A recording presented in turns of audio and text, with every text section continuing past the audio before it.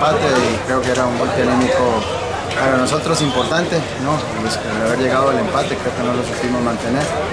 Y como digo, yo creo que los, errores puntuales nos, nos pasaron factura. Eh, no fue el, mejor partido de nosotros, no podemos decir otra cosa, ¿no? Y en general, ¿no? Aquí cuando ganamos, ganamos todos y cuando perdemos, lógicamente también. La verdad que eh, no fue el mejor partido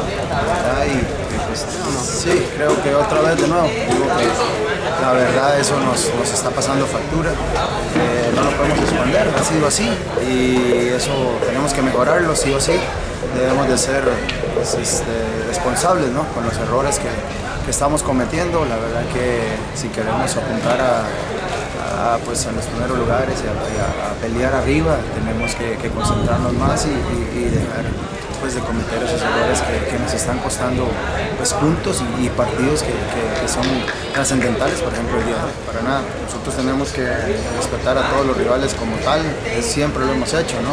Hoy sabíamos que no era un partido fácil, la verdad que el objetivo era venir a sumar de tres acá, pero creo que bueno, pecamos, como ya te digo, errores y pues, en momentos claves del, partido y eso nos cuesta la derrota. Ahora es pues enfrentar a, a un rival complicadísimo como, como el mismo.